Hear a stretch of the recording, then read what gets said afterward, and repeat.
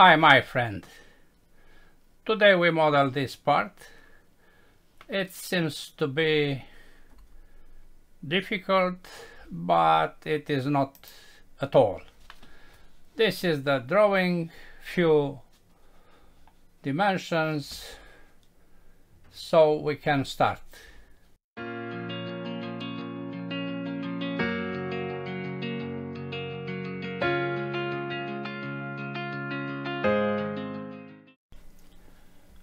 New standard millimeters IPT XY plane and we draw some lines.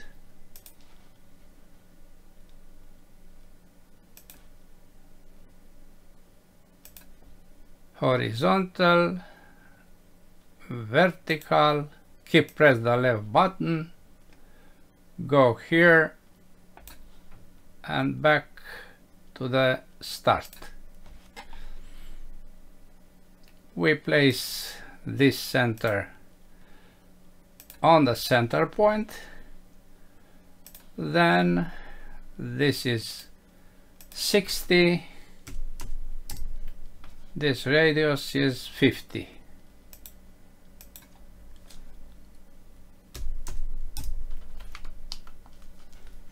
then other lines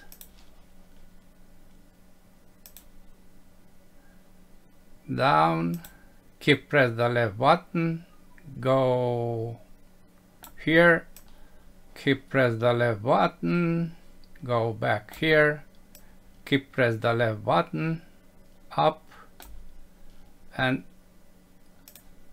up. Here is not tangent mark. We apply tangent. We make equal this arc with this arc this line with this line. We place in the center the center. Dimensions are 30 is this 14 here and 27.5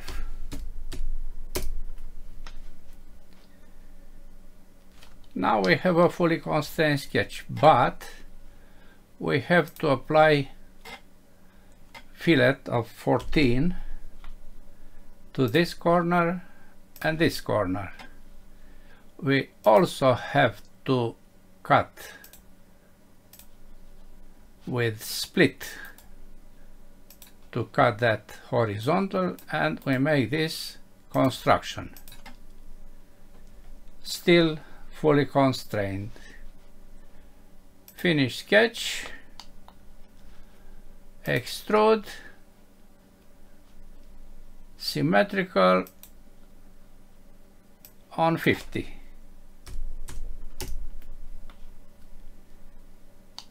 very nice. Back to the drawing. And we see here radius 14 on both sides. Symmetrical. Of course. Then uh, we apply shell with the thickness of 5 and the last is this hole at a distance of 14 let's do all this. Select an edge 14 select also the other edge okay then shell of 5 millimeters we select this face to be not included okay then this face for a new sketch that sketch is a simple circle with diameter of 10 and distance of uh, 14 here one dimension needed vertical for this point and the center point. Where is the center point? The center point is here. Fully constrained. Finish sketch, extrude, cut all the way through the part. Okay. That's all. Let's see what is the volume.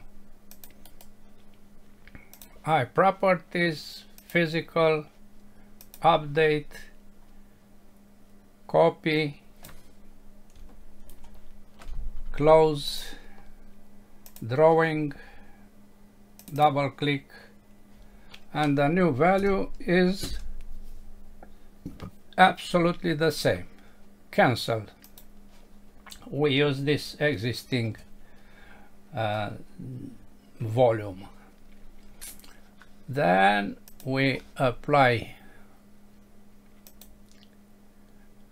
material